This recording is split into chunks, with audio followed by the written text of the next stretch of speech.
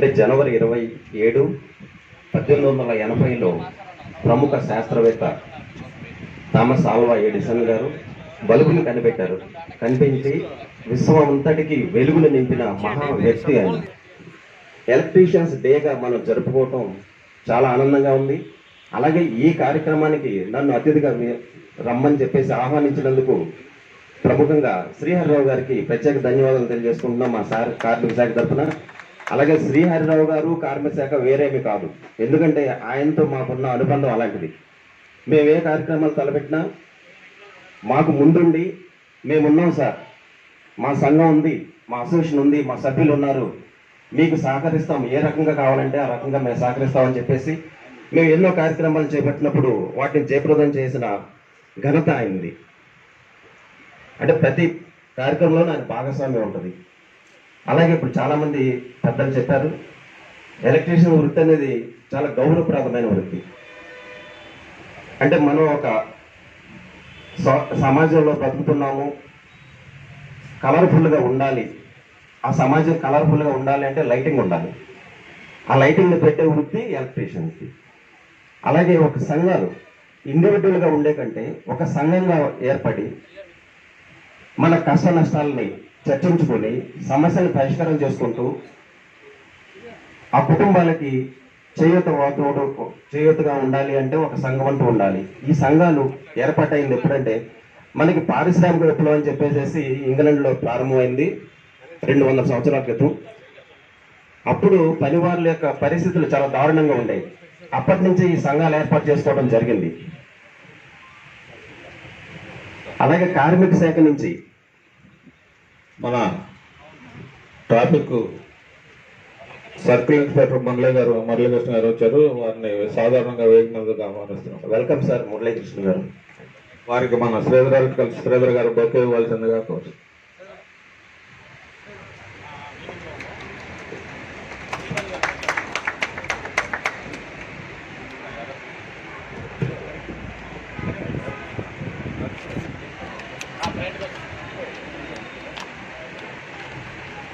అలాగే కార్మిక శాఖ నుంచి భవన నిర్మాణ కార్మిక ఒకటి ఏర్పాటు చేయడం జరిగింది. దానిలో భవన నిర్మాణ కార్మికులు వివిధ వృత్తుల్లో పనిచేసే కార్మికులందరినీ సభ్యులుగా చేర్చడం జరిగింది. అంటే పద్దెనిమిది సంవత్సరాల నుంచి అరవై సంవత్సరాల వరకు వయసు ఉన్న కార్మికులందరూ సభ్యులుగా చేరవచ్చు. ఆ సంక్షేమ బోర్డు నుంచి చాలా రకాల సంక్షేమ కార్యక్రమాలని స్కీమ్స్ని అమలు చేయడం జరుగుతుంది. ఒకవేళ ఏదైనా ప్రమాదవశాత్తు ఏదైనా ఇన్సిడెంట్ అయినప్పుడు ఐదు లక్షల రూపాయలని వారి కుటుంబాలకు అందజేయడం జరుగుద్ది. అలాగే సహజ మరణం సంభవించినప్పుడు అరవై వేల రూపాయలు ఇస్తాం. దహన సంస్కారాల ఖర్చులు ఫ్యూనరల్ ఎక్స్పెన్సెస్ అంటాము. దానికి ఒక ఇరవై వేల రూపాయలు ఇస్తాం. అలాగే రకరకాల స్కీమ్స్ ఉన్నాయి. మ్యారేజ్ గిఫ్ట్ ఉంది మెటర్నిటీ బెనిఫిట్ ఉంది. అలాగే శిక్షణా కార్యక్రమాలను కూడా ఆ బోర్డు నుంచి మనం అందజేసాం నాక్ అనే సెంటర్ నుంచి మనం చేయించాము. ఆ రోజుకి త్రీ హండ్రెడ్ రూపీస్ స్టైఫండ్ ఇవ్వటం అయింది. మరియు కిట్స్ ఇచ్చాం.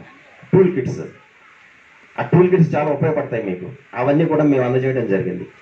అలాగే పెన్షన్ స్కీమ్ కావాలన్నారు. పెన్షన్ స్కీమ్ కావాలంటే అంటే ప్రధానమంత్రి శ్రమయోగి మాన్ధన్ అని చెప్పేసి ఒక కొత్తగా కేంద్ర ప్రభుత్వం పెన్షన్ పథకాన్ని ప్రారంభించింది. ఆ పథకంలో కూడా మనం ఆటో నగర్లో మన కార్మికులందరూ హాజరయ్యారు అప్పుడు. దాంట్లో సభ్యులుగా చేరడం జరిగింది. దానికి పద్దెనిమిది నుంచి నలభై సంవత్సరాల వయసు ఉన్న వాళ్ళు అర్హులు. నలభై సంవత్సరాలు ఉన్న వాళ్ళు అర్హులు. వాళ్ళు ఎప్పటి వరకు అంటే అరవై సంవత్సరాల వరకు కనుక సబ్స్క్రిప్షన్ కట్టుకుంటే అదే మొత్తాన్ని కేంద్ర ప్రభుత్వం ఆ అకౌంట్లో పెన్షన్ అకౌంట్లో జమ చేయడం జరుగుద్ది. అరవై సంవత్సరాల తర్వాత నెలకి మూడు వేల రూపాయలు చొప్పున పెన్షన్ వస్తుంది. అంటే వేరే పెన్షన్స్కి దీనికి సంబంధం లేదు. అంటే ఈ ఈ మో అంటే ఈ సమావేశం సందర్భంగా నేను తెలియజేసంటే అందరూ కూడా సభ్యులు అర్హులైన వాళ్ళు నలభై సంవత్సరాల లోపు ఉన్న సభ్యులందరూ కూడా ఈ పెన్షన్ స్కీమ్లో చేరాలని చెప్పేసి మా కార్మిక శాఖ నుంచి మేము కోరుకుంటున్నాను. అలాగే మీకు వైఎస్ఆర్ బీమా అని చెప్పేసి ఒకటి ఉంది. అంతకుముందు గతంలో చంద్రన్న బీమా అని ఉండేది. దాన్ని ఇప్పుడు వైఎస్ఆర్ బీమాగా మార్చారు. దానిలో కూడా డెబ్బై సంవత్సరాల వరకు కూడా దాంట్లో లబ్ధి పొందే అవకాశం ఉంది. దానికి ప్రజా సాధికార సర్వే అర్హత వచ్చేస్తుంది. దానికి ఏమి మనం ఏమీ సబ్స్క్రిప్షన్ కానీ చందా కానీ ఏమీ కట్టక్కర్లేదు. యాక్సిడెంటల్ డెత్ డెబ్బై సంవత్సరాల వరకు ఉంది. అలాగే సహజ మరణం యాభై సంవత్సరాల లోపు అయితే రెండు లక్షల రూపాయలు ఇస్తారు దాంట్లో. బోర్డులో సభ్యులు దాంట్లో ఒకవేళ నమోదు కాని పక్షంలో మన బోర్డులో సభ్యులుగా ఉంటారు బోర్డు నుంచి కూడా సహాయాన్ని పొందవచ్చు. ఈ రకంగా ఇన్ని రకాలుగా ప్రభుత్వం నుంచి మీకు సహాయ సహకారాలు ఉన్నాయి. మీరు ఒకటే చేయాల్సింది మీ వృత్తిలో నైపుణ్యాన్ని పెంచుకోవాలి. రోజు రోజుకి అప్డేట్ అవ్వాల్సిందే తప్పదు. ఎందుకంటే ఇప్పుడే చెప్పారు పెద్దలు ఏ క్షణమైనా ప్రమాదం పెంచుకుంటే వృత్తి మీది. అప్రమత్తత ఎప్పుడు కూడా అప్రమత్తంగా ఉండాల్సిందే. నెగ్లిజెన్స్ అనేది ఉండకూడదు. అట్లా అప్డేట్ అవుతూ మీ వృత్తుల్ని మీ స్కిల్ నైపుణ్యాన్ని పెంచుకొని సమాజానికి సమాజానికి ఎంతో సేవ చేస్తున్నారు మీరు. అంటే మీరు పెయిడ్ అవ్వచ్చు డబ్బులు తీసుకోవచ్చు మీ శ్రమకు కానీ ఎంతో సేవ చేస్తున్నట్లు లెక్క అనమాట మీరు లేకపోతే అసలు లేదు. మీరు కనుక ఒక పది రోజులు కనుక స్ట్రైక్ చేసి ఏమి వదిలేస్తే చీకటి అయిపోద్ది. ప్రపంచం అంత ముఖ్యమైన వృత్తి మనది.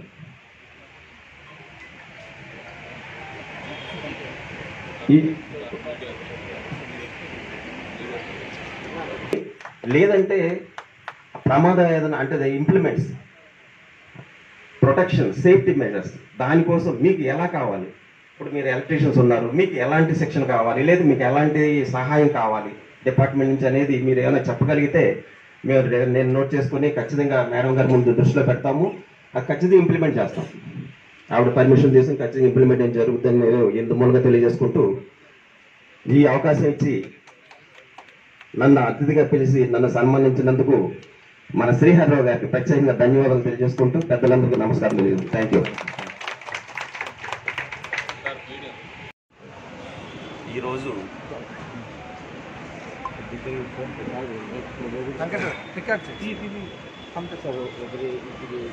సార్ చేయి తీసి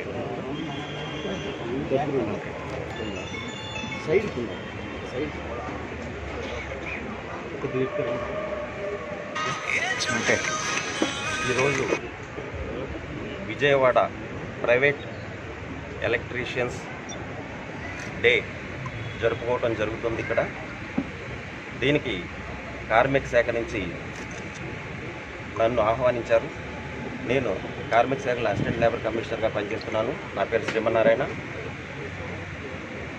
కార్మిక శాఖ నుంచి భవన నిర్మాణ కార్మికులకు ఎన్నో రకాల వృత్తులు ఉన్నాయి. దాంట్లో ముప్పై మూడు రకాల వృత్తులు ఉన్నాయి. వాళ్ళందరినీ కార్మిక సంక్షేమ బోర్డు ఆంధ్రప్రదేశ్ భవన నిర్మాణ కార్మికుల సంక్షేమ బోర్డులో మెంబర్లుగా జాయిన్ చేసి వారికి సంక్షేమ పథకాలని అమలు చేయడం జరుగుతుంది. దాంట్లో నేను ఇదివరకు వివరించాను. ప్రమాద బీమా సహజ మరణం కార్మిక పిల్లలకు కార్మికుల పిల్లలకు వివాహ కానుక అలాగే ప్రసూతి కానుక. ఇవన్నీ కూడా అందజేస్తూ దానిలో భాగంగానే మళ్ళీ నైపుణ్యాన్ని వృత్తుల నైపుణ్యాన్ని పెంచుకోవడానికి శిక్షణా తరగతులను కూడా ఏర్పాటు చేయడం జరిగింది. నాక్ సెంటర్ అని చెప్పేసి దాని ద్వారా మేము ట్రైనింగ్ ఇచ్చి టూల్ కిట్స్ కూడా వీళ్ళకి ఇవ్వడం జరిగింది. ఇంకా కొత్తగా మా కమిషనర్ గారు లేబర్ కమిషనర్ గారు కొత్తగా జాయిన్ అయ్యారు శ్రీమతి జి రేఖారాణి గారు. ఆవిడ ఇచ్చిన ఆదేశాల మేరకు జిల్లాకు ఒక ఐదు కోట్ల చొప్పున మనం శాంక్షన్ ఇద్దాము. ఇంకా ఎవరెవరికైతే నైపుణ్యం పెంచాలి లేదు వాళ్ళు పనిచేసే ప్రదేశంలో ప్రమాదాలకు గురవుతున్నారు వాటి నుంచి వాళ్ళని రక్షించాలి వాళ్ళ కుటుంబాలకి సామాజిక భద్రత ఆర్థిక భద్రత కల్పించాలనే ఉద్దేశంతో ఏవైనా వాళ్ళ నుంచి వాళ్ళతో ఇంటరాక్ట్ అయ్యి వాళ్ళ నుంచి ఫీడ్బ్యాక్ తీసుకుని వాటిని ఇంప్లిమెంట్ చేస్తే బాగుంటుంది. ఇంకా ఆ కుటుంబాలకి మనం ఆసరా చేయతనిచ్చినట్లుగా ఉంటుందనే ఉద్దేశంతో మేడం గారు ఒక ప్రపోజల్ పెట్టారు.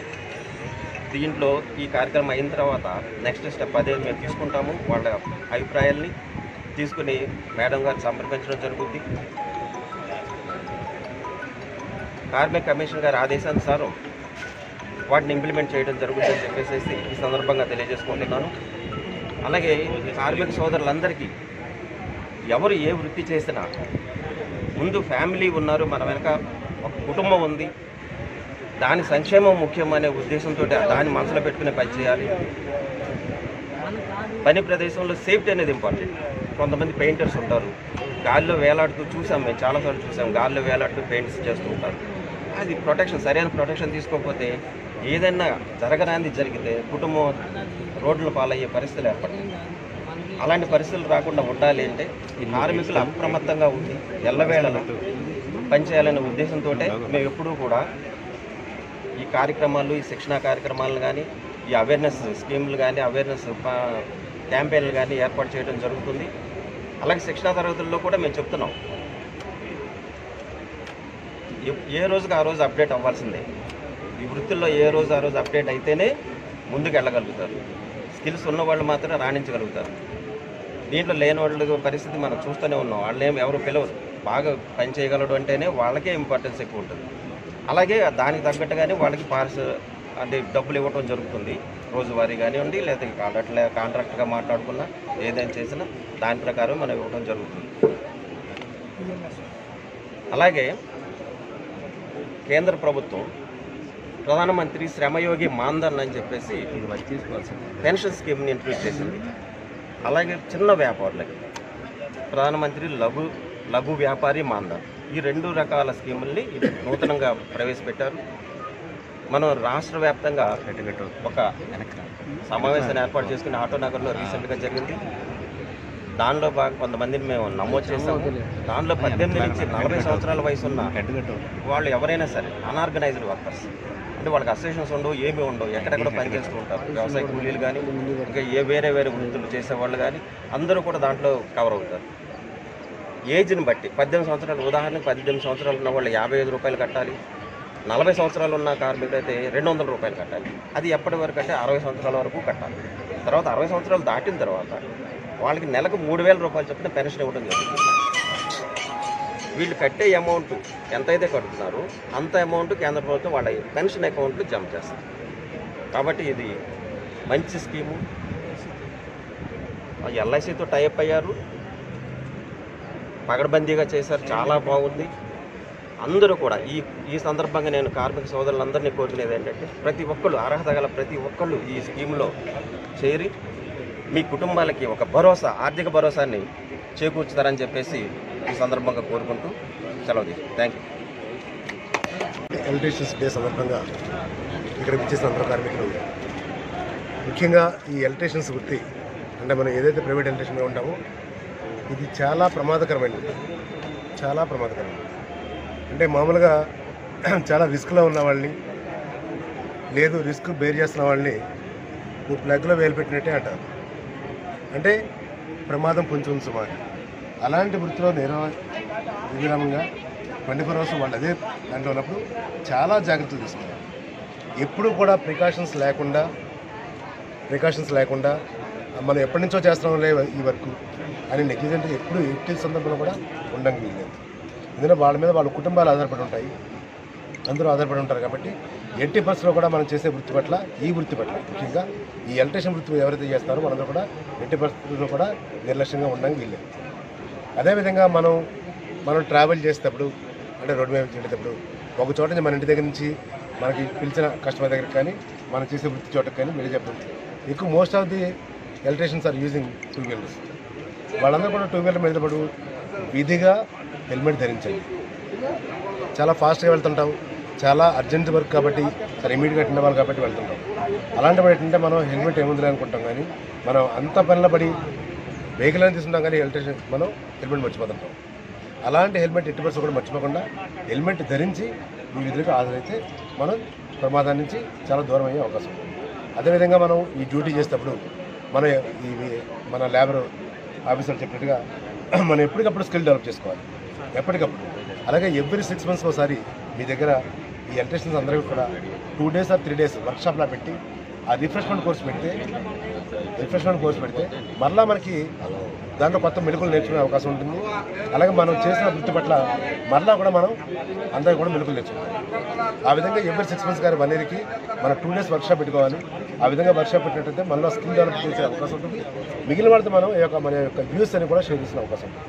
ఆ విధంగా వర్క్షాప్ పెట్టుకొని ఈ యొక్క ఉద్యోగం చేసేటప్పుడు ఈ విధి నిర్వహణలో ఎప్పుడు కూడా ఎలాంటి అపాయం కలగకుండా ఉండాలంటే మనం ఎప్పుడు కూడా జాగ్రత్తగా ఉండి మన స్కిల్స్ డెవలప్ చేసుకుంటూ మనం ఎప్పుడు కూడా నెగ్లిజెంట్గా లేకున్నట్లయితే మనం డెఫినెట్గా మనం అనుకున్న ఈ రీచ్ అవుతాం.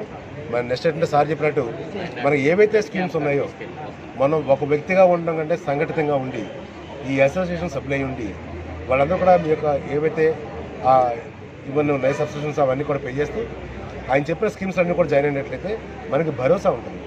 ఆర్థికంగా భరోసా ఉన్నట్లయితే మనం డెఫినెట్గా మంచి ఉత్సాహంతో ఇంకా పనిచేసే అవకాశం ఉంది. నాకు ఈ అవకాశం ఇచ్చిన ప్రజలందరూ కూడా ధన్యవాదాలు తెలియజేసుకుంటూ జై సమావేశాన్ని ఏర్పాటు చేయడం జరిగింది.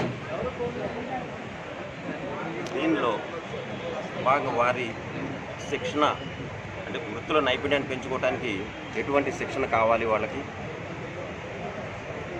అలాగే పని ప్రదేశంలో జరిగే ప్రమాదాలకి వాటిని వాటి నుంచి బయటపడాలంటే ఏ- ఎటువంటి జాగ్రత్తలు తీసుకోవాలి అనే దాని మీద కార్మిక శాఖ నుంచి నేను అటెండ్ అయ్యాను చెప్పడానికి.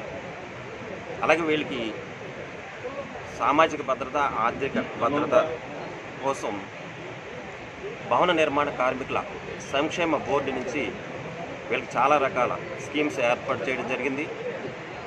ఎన్నో పథకాల నుంచి వీళ్ళు లబ్ధి పొంది ఉన్నారు. అలాగే కొత్తగా పెన్షన్ స్కీమ్ కూడా ఒకటి ఇంట్రడ్యూస్ చేశారు.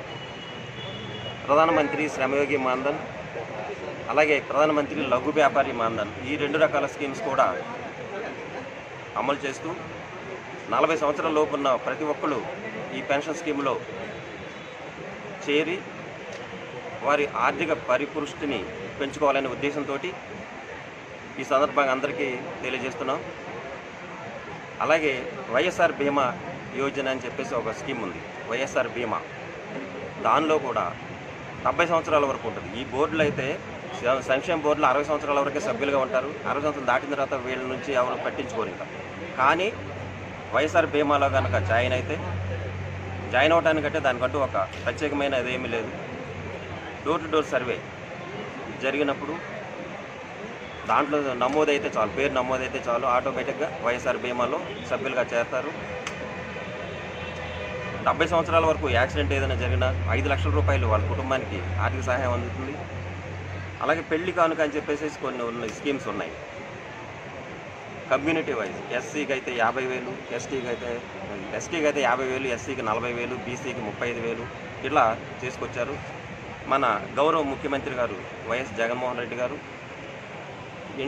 నూతనంగా ఒక స్కీమ్ని ఏర్పాటు చేద్దామని అనుకుంటున్నారు. అది ఎవరైనా ఏ కేటగిరీ అయినా ఏ కేటగిరీ కార్మికుడైనా వాళ్ళ కుమార్తె వివాహం చేసినప్పుడు లక్ష రూపాయలు ఇవ్వాలనే ఉద్దేశంతో ఒక స్కీమ్ తయారు చేస్తున్నారు. అది కూడా వస్తే ఇంకా అది చాలా బాగుంటుంది అనే ఉద్దేశంతో మేము కూడా ఆహ్వానిస్తున్నాం. మేము ఇచ్చే కాకుండా ఇంకా అదర్ స్కీమ్స్ కూడా గవర్నమెంట్ నుంచి ఉన్నాయి.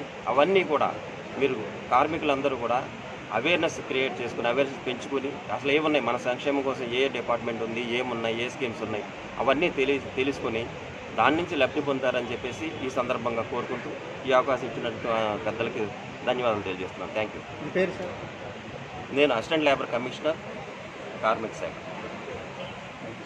ఈ ప్రైవేట్ ఇండస్ట్రీస్ కార్మికులందరికీ కూడా నా హృదయపూర్వక ధన్యవాదాలు. ఈరోజు ఈ ప్రైవేట్ ఎలక్ట్రీషియన్స్ డే. అంటే ఇలాంటి ఒక రోజు ఉందన్న విషయం కూడా నాకైతే తెలియదు మన Bujji garu last four days back మన ప్రెసిడెంట్ గారు బుజ్జి గారు అందరూ నా దగ్గరికి వచ్చి ఈ విధంగా ప్రైవేట్ ఎలక్ట్రీషియన్స్ డే సందర్భంగా ఈరోజు రోజు పెట్టుకున్నామని చెప్తే అసలు ప్రైవేట్ ఎలక్ట్రీషియన్స్ డే అంటే చాలా కార్మికులకి అంటే ముఖ్యంగా భవన కార్మికులు ఈ ఎలక్ట్రీషియన్స్ కార్మికులు లేకపోతే వేరే వేరే రకాల రకాల కార్మికులు ఉంటారని తెలుసుకొని వాళ్ళకంటూ ఒక రోజు ఉంది అనే విషయం మాకైతే తెలియదు. అలాంటి ప్రైవేట్ ఎలక్ట్రీషియన్స్ అంటే మీరు ఏం చేస్తారు అడిగితే మా దగ్గర చాలా మంది సార్ ప్రైవేట్ ఎలక్ట్రీషియన్స్ వాళ్ళందరి యొక్క వెల్ఫేర్ చూడడం గురించి వాళ్ళకున్న హక్కులు బాధ్యతలు తెలియపరచడం గురించి ఈ విధంగా లాస్ట్ ఇయర్ ఏర్పాటు చేసిన మేము మళ్ళీ ఈసారి కూడా ఈరోజు జరుపుకోవడం జరుగుతుంది. అని చెప్పారు. నిజంగా చాలా సంతోషం. ఎందుకంటే ప్రైవేట్ ఎలక్ట్రీషియన్స్ వృత్తి అనేది అంటే ముఖ్యంగా ఈ ఎలక్ట్రీషియన్ ఈ వృత్తి అనేది చాలా అత్యంత ప్రమాదకరమైనది. చాలా జాగ్రత్తతో మనం ఎంతో కాషియస్గా ఉంటే తప్ప మనం చేసే పని సక్రమంగా చేసుకొని రాలేదు మిగిలిన వృత్తులు వేరు. ఒక మోటార్ సైకిల్ మెకానిక్ ఉన్నాడంటే తన షాప్ ఓపెన్ చేసుకొని ఆ తన దగ్గర వచ్చిన మోటార్ సైకిల్స్ అవి రిపేర్ చేసి పంపించడం జరుగుతుంది. దాంట్లో రిస్క్ ఆస్పెక్ట్ ఏమో కానీ పర్టికులర్గా ఈ ఎలక్ట్రికల్ సంబంధించిన ఈ వృత్తిలో పనిచేసే మీరందరూ కూడా చేసే పని పట్ల ఎందుకంటే ఎంతో కాలం మనం వర్క్ చేస్తే తప్ప ఎవరి దగ్గర మనకి ఆ యొక్క వృత్తి నేర్చుకోవడం జరుగుతుంది అలాంటి వృత్తి మనం నేర్చుకోవాలి సరే ఎప్పటికప్పుడు స్కిల్స్ డెవలప్ చేసుకోవాలి ఆ విధంగా మన యొక్క వృత్తిలో మన స్కిల్ ఎప్పుడైతే డెవలప్ చేసినామో మంచి ఎలక్ట్రీషియన్గా రాణించగలుగుతాం. చాలామంది ఎలక్ట్రీషియన్స్ ఉండొచ్చు కానీ మనకి ఎవరైతే నమ్మకం కుదురుతుందో ఆ ఎలక్ట్రీషియన్ మాత్రమే మనం పిలుస్తాం. అదేవిధంగా అంటే అప్పటికప్పుడు తీసిపోతే వేయించుకోవడానికి ఎవరైనా ఎలక్ట్రీషియన్ పిలుస్తామో తప్ప మన ఇంట్లో ఎలక్ట్రికల్ వర్క్ మంచిగా ఉన్నట్లయితే అంటే పెద్ద వరకు ఉన్నట్లయితే మంచి ఎలక్ట్రీషియన్ ఎవరైనా వెళ్తాం అలాగే మంచి నమ్మకం ఉన్న వ్యక్తి అంటే చాలా ఇంపార్టెంట్ ఏంటంటే మిమ్మల్ని నమ్మి అంటే మీకు యొక్క పని అప్పగించే వాళ్ళు వాళ్ళకి ఎంతగా సంబంధించిన నాలెడ్జ్ ఏముంది? అవన్నీ మీరు చెప్తే తెలుస్తుంది. అందుకని ఏ బ్రాండ్ బాగుంటుంది ఏ ఎంటకల్ సమర్ వాడాలి ఎలాంటి వైరింగ్ అయితే బాగుంటుంది ఎక్కడైతే బాగుంటుంది క్వాలిటీ ఇచ్చే షాపులు కొన్ని ఉంటాయి. చాలా షాపులు ఉండొచ్చు. అందుకని ఏంటంటే ఎక్కడైతే ఏ షాపులు అయితే బాగుంటుంది అని సజెషన్స్ వాళ్ళు మీరే అదేవిధంగా అలాంటి మెటీరియల్ మంచి క్వాలిటీ ఉన్న మెటీరియల్ కొనిపించి వస్తుంది మీరు అవన్నీ చేసిన తర్వాత ఈ ఎలక్ట్రికల్ వర్క్ చేసినప్పుడు మీరు చాలా కాషియస్గా ఉండాలి. ఎందుకంటే ఇవన్నీ కూడా మిమ్మల్ని నమ్మి పెట్టిన ఆ కస్టమర్కి అయితే తెలియదు. ఏమేమి ప్రికాషన్స్ తీసుకోవాలో. అవన్నీ మీరు తీసుకోవాల్సినవి ఏంది ఎప్పుడు ప్రమాదకరమైంది కాబట్టి మనం ఎప్పుడు అజాగ్రత్తగా ఉన్నా ఎప్పుడు నెగ్లిజెంట్గా ఉన్నా చాలా డెఫినెట్గా చాలా పెద్ద ప్రమాదం జరిగే అవకాశం ఉంటుంది. చాలా పెద్ద ప్రమాదం జరిగే అవకాశం. ఉంది అందు గురించి ఏంటంటే మనం ముఖ్యంగా మనకి ప్రమాదాలు అనేది చెప్పి రావు కాబట్టి ప్రతి ఎలక్ట్రీషియన్ కూడా ప్రతి ప్రైవేట్ ఎలక్ట్రీషియన్ కూడా విధిగా సంఘటితంగా ఉండాలంటే ఇలాంటి అసోసియేషన్లో జాయిన్ అయ్యి మన కార్మిక శాఖ వారు ఏవైతే ప్రోత్సాహకర స్కీములు చెప్తారో అలాంటి సభ్యులుగా స్కీములో సభ్యులుగా చేరినట్లయితే మనం వాటి నుంచి వచ్చే బెనిఫిట్స్ పొందవచ్చు. మనము కానీ మన కుటుంబ సభ్యులు కానీ. మనం ఎంత కాషియస్గా ఉన్నా సరే ప్రమాదాలను చెప్పరావు కాబట్టి ఎప్పుడైనా ప్రమాదం జరిగే అవకాశం ఉండొచ్చు. అలాంటప్పుడు మనకి స్కీమ్స్ అనేవి ఉపయోగపడతాయి కాబట్టి మా సాధ్యమైన పెన్షన్ స్కీమ్ కానీ మీకు ఈ యొక్క యాక్సిడెంట్ స్కీమ్స్ కానీ ఇలాంటి స్కీమ్ల ప్రకారం కూడా మీరు సభ్యులుగా చేరి ఆ నామినల్గా ఉండే ఫీ ఎంతైతే ఉందో అది మీ యొక్క అసోసియేషన్ ద్వారా చెల్లించాలి. ఆ విధంగా ప్రతి ఒక్కరు కూడా అంటే మీరు ట్రావెల్ చేసేటప్పుడు మీరు ట్రావెల్ చేసేటప్పుడు కూడా టూ వీలర్ మీద ట్రావెల్ చేసిన ప్రతి ఒక్కరు కూడా విధిగా హెల్మెట్ ధరించాలి. తక్కువ దూరమే కదా ఈ పక్క వీధిలోకే కదా పక్క సందులోకే కదా అని అనుకోకూడదు. ఎప్పుడు కూడా. మనం ఎంత జాగ్రత్తగా ఉన్నా సరే అవతల నుంచి మనం గుర్తించే అవకాశం ఉంటుంది. మన హెల్మెటే మన ప్రాణాలు కాపాడుతుంది. అంటే ట్రావెల్ చేసే టైంలో టూ వీలర్ మీద ప్రయాణించేటప్పుడు డెఫినెట్గా అందరూ కూడా హెల్మెట్ ధరించండి. అది కూడా స్టాండర్డ్స్ ఉన్నది. అంటే ఐఎస్ఐ మార్క్ ఉన్నది రోడ్డు పక్క అమ్మేవి మాత్రం కావు. రోడ్డు పక్క అమ్మేవి మన బరువు తప్ప అలవాటి వాటి వల్ల మనకి ప్రమాదం నుంచి సేవ్ చేయలేదు అందుగురించి విధిగా హెల్మెట్ ధరించండి. ప్రతి ఒక్కరు కూడా ఆ హెల్మెట్ ధరించడానికి ఆ మోటార్ సైకిల్కి మనకి ఒక లాక్ చేసుకుని దాన్ని పెట్టుకోండి. మన ఇంట్లో మన ప్రత్యేకంగా కాకుండా మనం ఎప్పుడైతే టూ చేస్తున్నారో అప్పుడు హెల్మెట్ ధరించే అవకాశం ఉంది. ఆ విధంగా ప్రతి ఒక్కరు కూడా ఈ యొక్క అసోసియేషన్లో అందరూ కూడా చేరి మన గవర్నమెంట్ వారు ఏదైతే స్కీమ్స్ పెట్టారో ఆ స్కీములలో కూడా మీరంతా కూడా సభ్యులుగా చేరి మీరు ఎలక్ట్రికల్ వర్క్ చేసేటప్పుడు ఎలాంటి యాక్సిడెంట్స్కి తాగకుండా మనం తీసుకోవాల్సిన ప్రికాషన్స్ తూచా తప్పకుండా తీసుకొని స్కిల్స్ డెవలప్ చేసుకున్నట్లయితే మన లైఫ్ చాలా మంచిగా లీడ్ చేయగలుగుతాం. అలాగే ఏంటంటే ఎవ్రీ సిక్స్ మంత్స్కి ఆర్ వన్ ఇయర్కి ఈ స్కిల్ డెవలప్మెంట్ సంబంధించి మీ యొక్క రిఫ్రెష్మెంట్ కోర్స్ పెట్టినట్లయితే మీ అందరికీ కూడా ఒక్కొక్క two days just forty eight hours. అది రిఫ్రెష్మెంట్ కోర్స్ పెట్టినట్లయితే అప్పుడు మీ యొక్క వ్యూస్ అన్ని షేర్ చేసిన అవకాశం ఉంటుంది. ఒకరొకరు కలుస్తాము ఎక్కడెక్కడ మన యొక్క వ్యూస్ షేర్ చేస్తుంటాము మన స్కిల్స్ డెవలప్ చేసుకుంటాము ఆ విధంగా యొక్క మన మైండ్ కూడా రిఫ్రెష్ అవుతుంది. ఇలాంటి అన్ని కూడా మనం డెవలప్ చేసినట్లయితే మనం లైఫ్ చాలా మంచిగా లీడ్ చేయడం నాకు ఈ అవకాశం ఇచ్చిన ప్రజలందరూ కూడా ధన్యవాదాలు తెలియజేసుకుంటూ కలిగిస్తున్నాను thank you thank you sir CO గారు. మా వాళ్ళు చాలా అర్ధరాత్రి